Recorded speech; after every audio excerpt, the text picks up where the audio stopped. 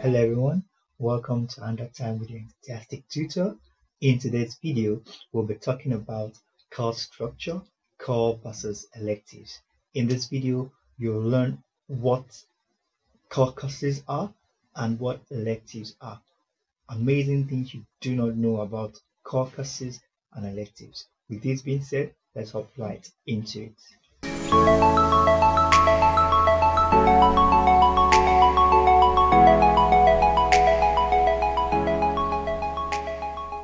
So we have our outline, courses. What are courses? Implications of courses. What you do not know about courses.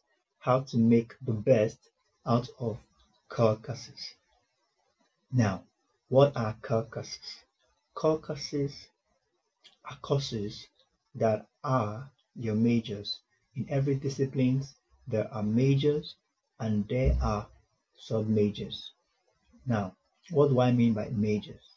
Your core courses, majors, these are words interchangeably used.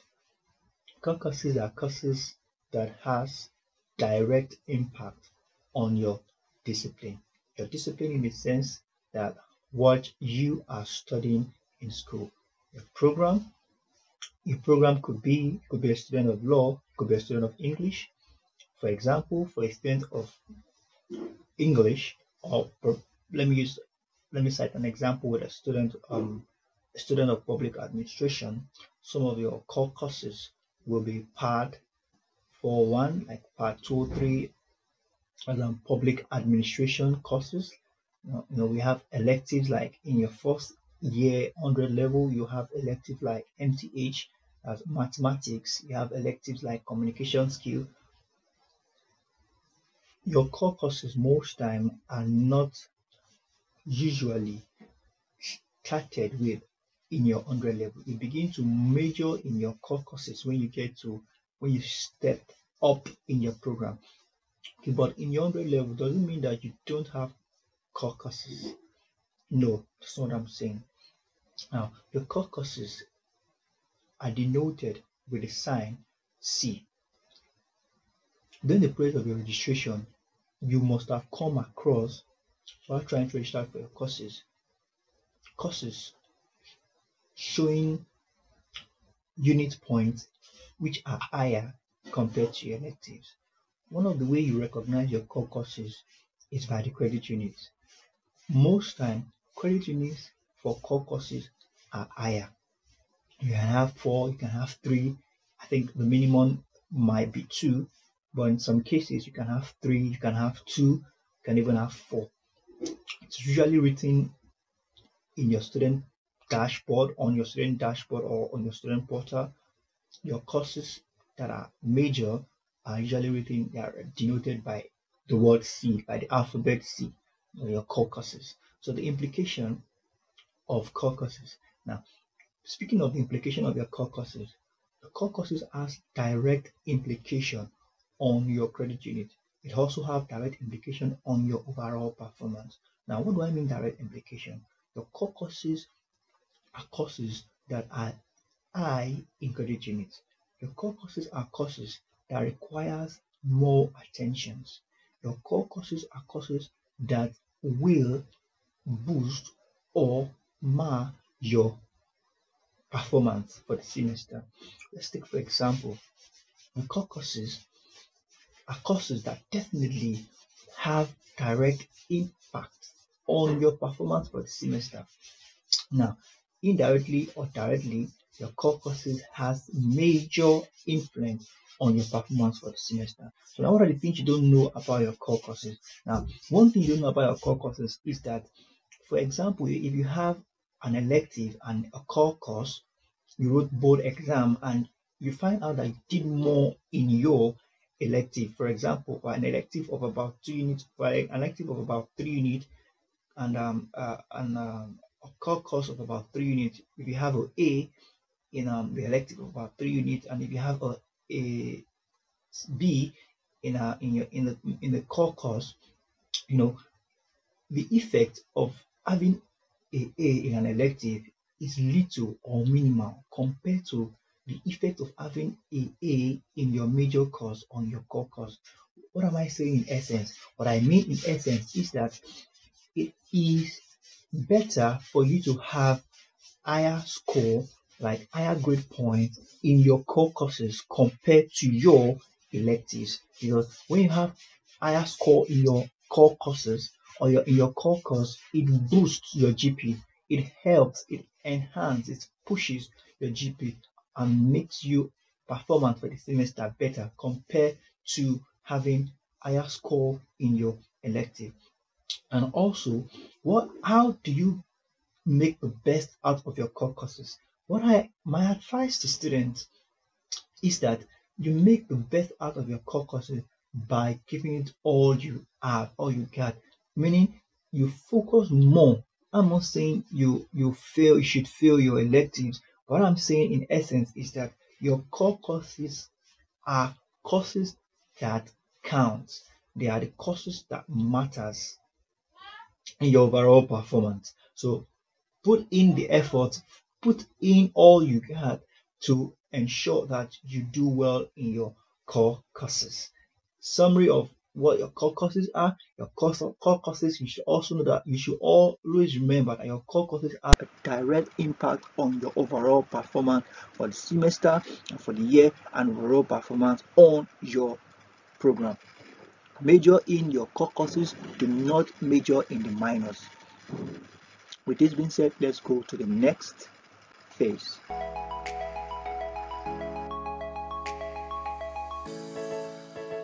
Electives.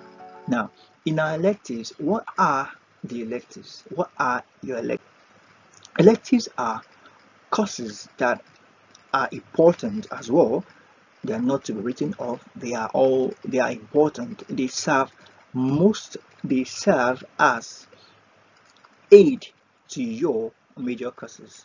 You know, electives are good as well. Um, I mean, if you do well in your electives too, it directly affects positively it directly tells on your performance as well. Your your electives are there to cushion your major courses yeah.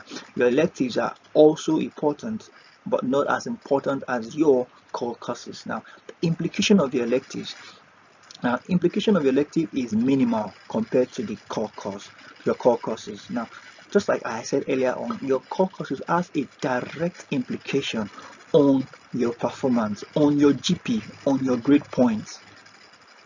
Um, in my previous tutorial, I had um, I did a video about how you can calculate your CGP, yeah, your CGP and your your CAGP, I mean, and your GPA. You know, your core courses has direct impact on your CGPA. It has direct impact on your GPA.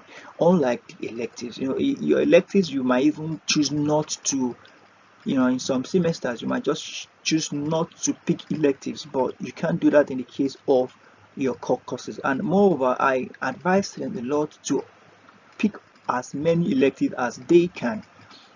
Because your electives is there to is like a bonus. Let me let me use the word bonus. Just like to enhance.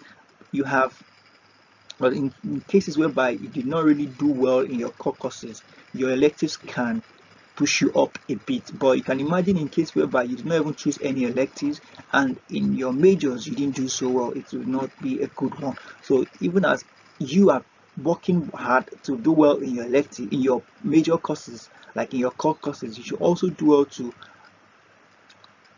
perform well in your electives as all this put together enhances your performance for the semester. So implications has been discussed. So we have what do you what you do not know what you do not know about your elective okay? Now your electives are also important. As i mentioned earlier you know um, they are there to cushion your major courses they are there to aid you know the school authority uh, added them to the syllabus you know to for reasons. And um, i believe one of the reasons is too enhance your performance too as well as they are there to support and to aid your GP, you know, your uh, your grade points. Yeah. So your electives are also important. You should also do well to pick them. Please do not write off your elective. In every semester, you should at least try to pick more of your electives because over the year doing your program it will count definitely it will count because all these things all these courses are great.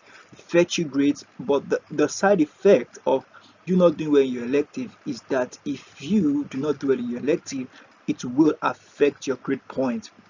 So it is better you do well in the electives uh, because if you do well in your core courses and probably you didn't do so well in, when i say you didn't do well maybe you have a, you have a d or a e in your elective it will affect your chief your gp definitely your grade point definitely. So you should strive to do well in your electives if you know you might not be able to do well in an elective uh, i would suggest you don't pick it. But i will strongly suggest if you know that the elective you're picking you can at least have a C or a minimum of a B uh, a B yeah in the elective. I would strongly suggest you pick A because it will cushion it will aid your your GP and um, one thing again you should know about your elective is that to register an elective is not as expensive as the major course. You know the major courses are more expensive to register as it requires more effort and more time and and other things to ensure you pass them very well. Like your major courses you should be having nothing less than a b or in worst case scenario a c in your major courses. And um which is which is very important. Now how to make the best out of the elective. Now making the best out of the elective you have to put in the effort as well. Your elective is not in your elective i mean you do you don't want to have a poor grade in your elective because definitely it will tell on your group on your grade point definitely. So it's what you should make out of the, the best thing you should make out of it is have good grades in your elective and as well in your core course. I believe um with all this being said i believe we have learned a thing or two about our elective and our core course. Um with this being said so let's just go let's move to the next um,